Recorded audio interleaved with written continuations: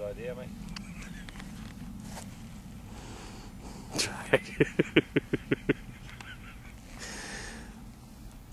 Why do you think I would shoot at the lads across there?